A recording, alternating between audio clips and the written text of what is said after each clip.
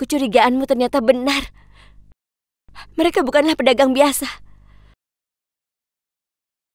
Aku tidak tahu apa yang mereka lakukan di tempat sunyi seperti ini. Itu bukan masalah kita, Putri. Karena kita hanya perlu mendapatkan kuda-kuda itu dan setelah itu kita bisa pergi dari tempat ini. Kau benar. Ayo.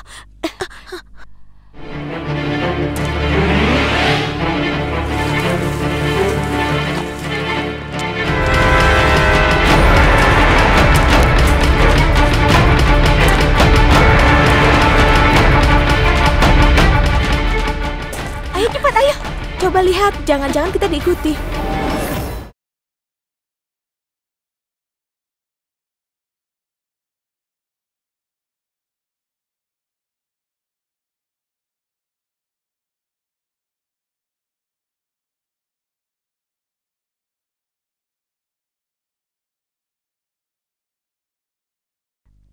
Canda, Canda, lihat di sana.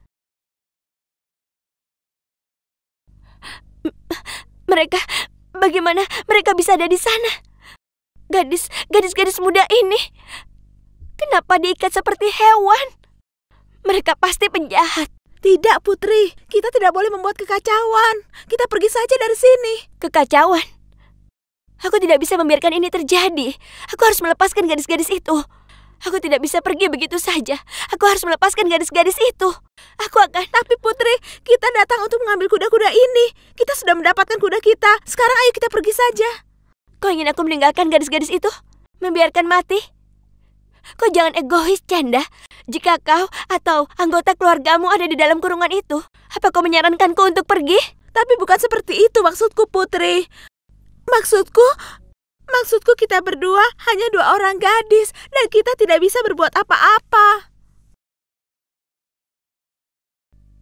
Jangan khawatir, Canda.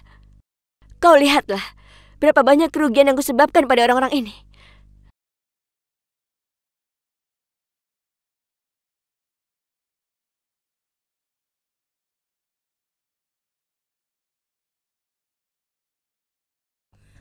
Tolong kami, lepaskan kami. Kalian jangan ribut.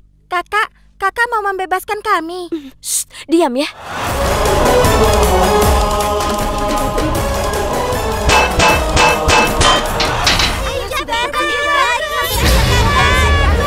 Tangkap mereka!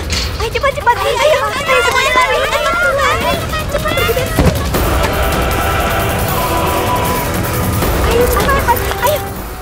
Gadis-gadis itu melarikan diri. Pergi dan tangkap mereka.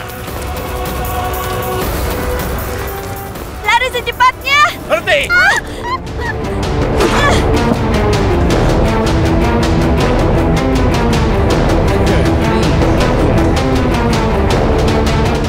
Kalian telah berbuat salah.